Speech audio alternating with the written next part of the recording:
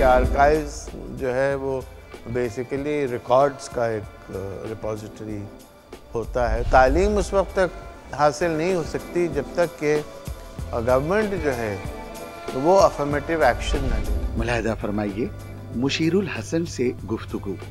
22 फरवरी रात साढ़े नौ बजे डी उर्दू के प्राइम टाइम पर